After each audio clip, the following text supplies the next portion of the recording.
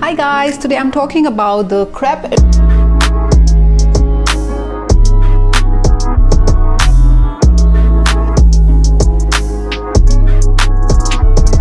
erase this is a fragrance free body intensive kind of a moisturizer hydrator you know for people who have dry skin or you have issues related to dry skin be it fine lines you know patchiness uh, sensitive skin or any kind of dryness issues. So overall this is supposed to give you like you know softer more supple smoother and healthier looking skin. I like to use it a lot on my hands and arms especially during the winter months. So guys this is supposed to have a lot of natural ingredients ingredients like this has apple extracts, dill, sage. Now these are herbs, you know, which help the body produce more elastin. Elastin is the key ingredient, you know, that decides how uh, elastic, how supple our skin is gonna be and the more elastic. But I'm not impressed with like, you know, how the texture is. Like it's rather hard. It just doesn't like feel so soft and pleasant to touch. And when I take it on my hands, it's kind of hard.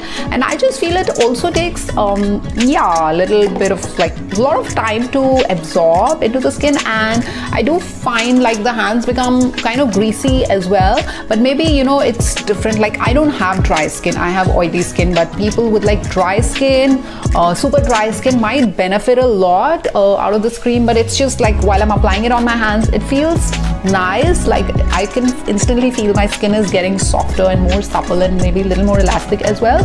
Uh, but I just feel like it's like I have to massage a lot to let the grease, you know, go away. So which is more like the product takes a lot of time to penetrate into the surface of the skin. So guys, ideally in order to get maximum, you know, benefit out of the product, if you have dryness related issues, fine lines, wrinkles, age spots, pigmentation, you should be using it twice, once in the morning, once in the evening on clean skin. So guys, it says this is fragrance free. I, yeah, I cannot smell anything. So people who do not like fragrance, you know, in their skincare products, this is something you can definitely try. And the best way to use it, ideally, uh, you know, as per the instructions on the website, they say you use their exfoliating treatment under the same brand and then you follow up with, uh, you know, this repair um, cream. But let's say if you don't have one or you don't want to invest invest into that you're completely okay just use any regular gentle you know uh, soap water and once your like skin is like squeaky clean just like slather this massage it uh, until nicely absorbed into the surface of the skin.